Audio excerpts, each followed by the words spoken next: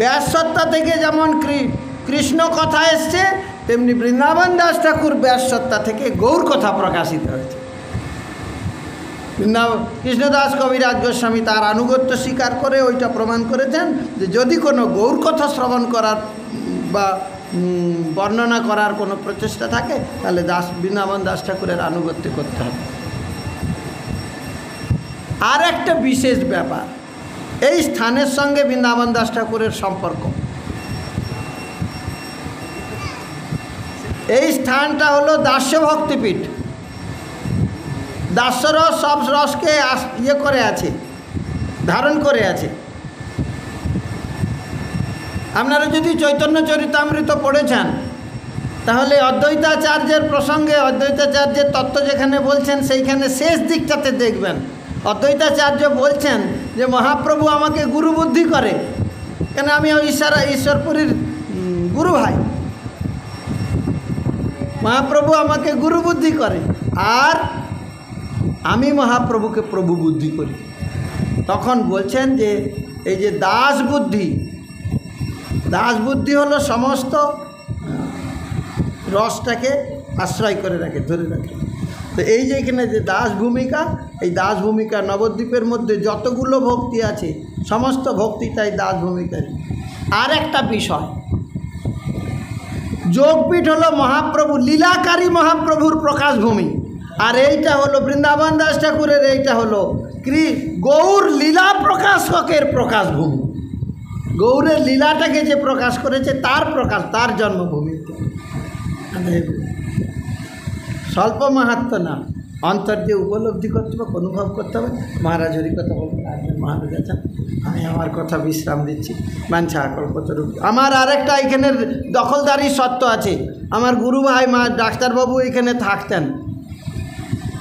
হাওলারদার ডাক্তারবাবু। ওই জন্যে আর আমরা পরিক্রমার সময় রাত্রেবেলা এখানে থাকি, এরা খুব আনন্দ আনন্দ পায়। বাঞ্ছা আকল্পতরূপ বস্য মহারাজের চরণে প্রণাম জানাই। সমস্ত ভক্তবৃন্দের চরণে প্রণাম। বাঞ্ছা আকল্পতরূপ বস্য কৃপা, সিন্ধু ভয়ে বচ। পতিতানাং বৈষ্ণব এখন আমাদের গুরুবর্গ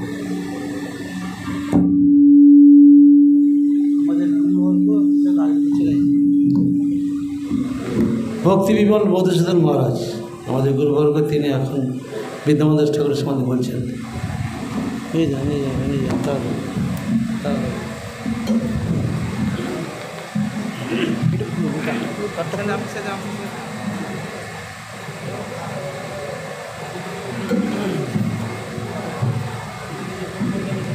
যস্য প্রসাদত ভগবত প্রসাদত যস্য অপ্রসাদত নগতি কুতপি। ধ্যান স্তবং প্রশস্তি ছন্দ বন্দে বাঞ্ছকল্পতর ভস্য কৃপা সিন্ধু প্রেমচ পতিত আনন্দ পাবনে বৈষ্ণব। শ্রীকৃষ্ণ চৈতন্য পরিত্রানন্দ হরে কৃষ্ণ হরে কৃষ্ণ কৃষ্ণ কৃষ্ণ হরে। হরে রাম হরে রাম রাম রাম, হরে হরে। সর্বতমে আমার গুরুপাদ পদ্ম নিত্যগুলো বৈষ্ণব অং বিষ্ণু ছিল ভক্তিবিলাস চিত্ত গোস্বামী মহারাজের পাদ পদ্ম বন্দনা করি। তৎপশ্চাৎ আমার সন্ন্যাস গুরু নিত্যলা বৈষ্ণব অং বিষ্ণুপাদ ভক্তি প্রজ্ঞান যদিদেব গোস্বামীর পাদ বন্দনা করি। বর্তমান চৈতন্য মঠাচার্য ভক্তিস্বরূপ সন্ন্যাসী মহারাজকে ধন্যবাদ প্রণাম করি। সবাই উপস্থিত সন্ন্যাসীবৃন্দ ভৌমচাবৃন্দ এবং ভক্ত শত্রুবৃন্দ আজ আমাদের গৌরীয় বৈষ্ণব একটা বিশেষ দিন।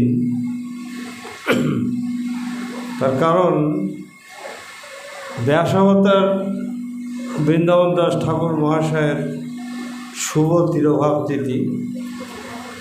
দেখা যাচ্ছে এই বৈশাখ মাসেই ওনার আবির্ভাবও হয়েছিল, আবার তিরোভাব এই মাসেই। অতএব সব মিলিয়ে বৈশাখ মাসটাও পবিত্র। এই মাসে সাধুসঙ্গ করা, দান ধ্যান করা, গঙ্গা স্নান করা ইত্যাদি ভক্তমুখে হরিকথা শ্রবণ খুবই স্বীকৃতিদায়ক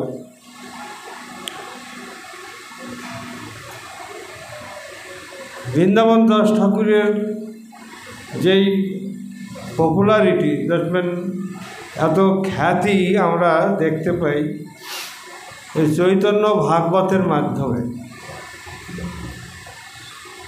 মহারাজ বললেন যে মহাপ্রভুর যে লীলা বলি, অবদান বৈশিষ্ট্য, কেউ কেউ বর্ণনা করেছেন, কিন্তু তার মধ্যে বিশেষভাবে যে মহাপুর লীলাবলী বর্ণনা করেছেন কৃষ্ণদাস কবিরাজ গোস্বামী আর শ্রী বৃন্দাবন দাস ঠাকুর।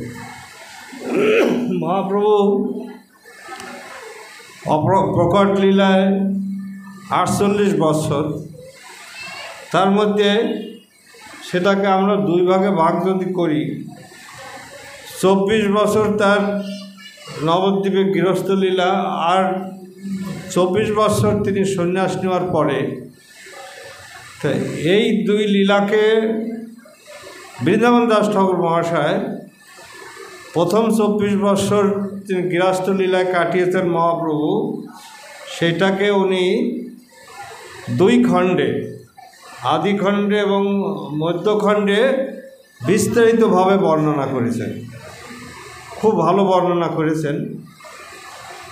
আর ওনার সন্ন্যাসের পরে যে চব্বিশ বছর সেটা উনি বিশেষভাবে কিছু বিস্তার করেন নাই। তার কারণ ওটা কৃষ্ণদাস কবিরাজ গোস্বামী করবেন বলে।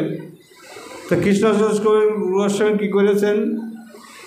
মহাপ্রভুর যে প্রথম চব্বিশ বছর, সেটাকে তিনি সূত্ররূপে বিস্তারিত না করে বৃন্দাবন দাস ঠাকুর তো বর্ণনা করেইছেন বলে উনি সূত্ররূপে বর্ণনা করে গেছেন। কিন্তু সন্ন্যাসের পরে যে চব্বিশ বছর, সেটাকে তিনি বিস্তারিত মধ্যলীলা এবং অন্তলীলার মধ্যে তিনি খুব বিস্তারভাবে বর্ণনা করেছেন। সে সিদ্ধান্তপূর্ণ গ্রন্থ যে চৈতন্য চৈতন্যিত কিন্তু ইউনিভার্সিটিতে তার বৈষ্ণব দর্শনে চৈতন্য চৈতন্যিত পড়ানো হতো। তা যাই হোক,